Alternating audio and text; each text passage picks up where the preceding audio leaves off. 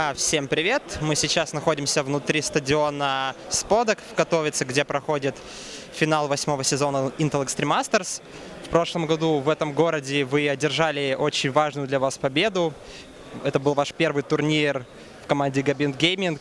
Насколько ответственно сейчас вы подошли к этому Intel Extreme Masters?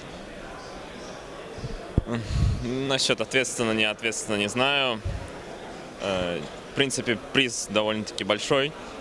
Э, игра не так важна для общего сезона, но приятно было бы выиграть и, опять же, закрепить результат, который мы взяли в предыдущем году. Надеюсь, наш старт не будет таким же, как в прошлом, опять же, раз. Будем стараться.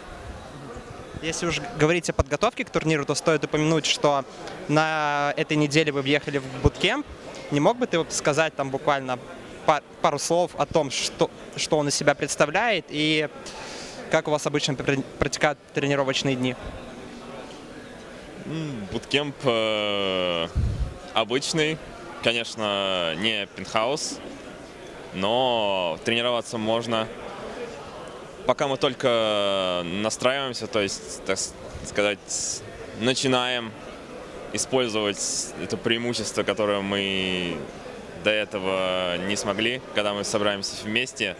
Но что-нибудь придумаем. А после Котовицы продолжится ЛСС, осталось три регулярные недели, затем плей-офф. Планируете ли вы вернуться в буткемп или у вас какие-то другие планы?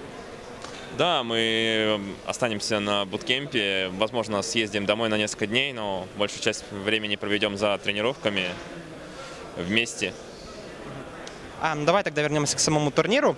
В прошлом году он, наверное, многих удивил посещаемостью. В этот раз здесь еще больше народа. Это как-то сказывается на тебе? Волнуешься ли ты или ты, наоборот, готов показать себя, не знаю, как можно лучше перед такой огромной аудиторией? Ну, опыта большом. Ну, много опыта за плечами уже. Мы ездили просто не пересчитать количество турниров. Для меня аудитория – это можно сказать, фон, но все равно приятно. Я не волнуюсь, когда играю перед кем-либо или без кого-либо, важная игра или нет. Возможно, есть что-то такое, когда ты проигрываешь, обида, но волнение — это уже позади.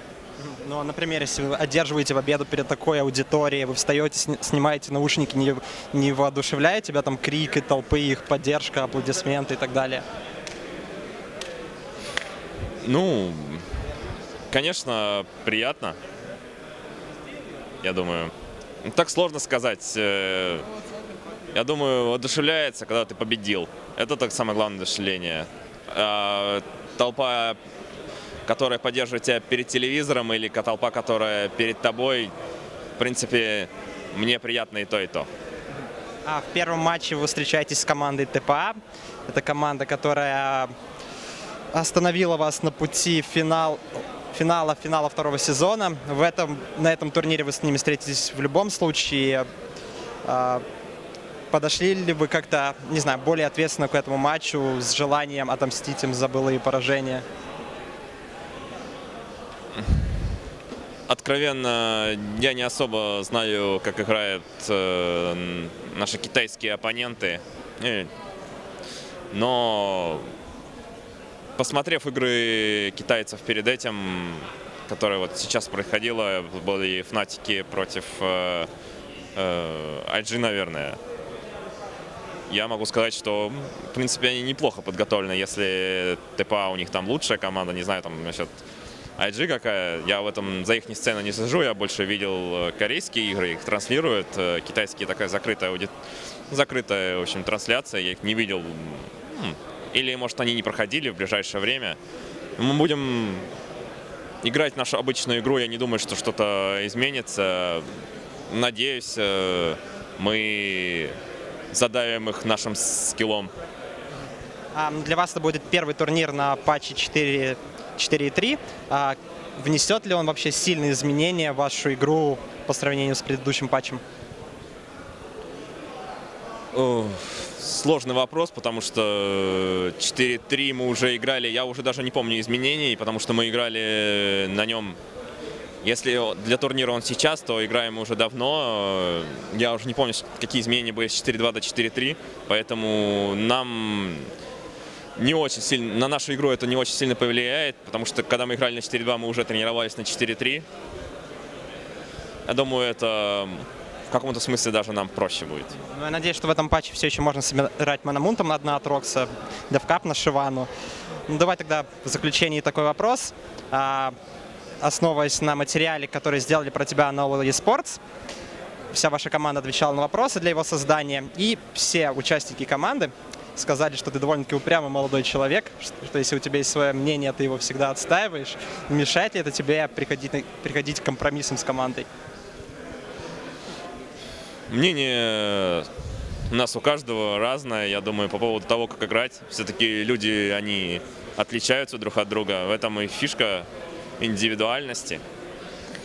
Э, но я думаю, собрать вместе все лучшие части, собрать лучшие стороны мнений, и в этом заключается победа. Ну, спасибо тебе за это интервью. Что бы ты хотел сказать напоследок? Я бы хотел, я думаю, передать привет всем, кто болеет. Это в первую очередь. Ну и всем тем, кто перейдет на нашу сторону после того, как мы одержим победу. Спасибо, что посмотрели интервью. С вами был Евгений, он же Дарьян.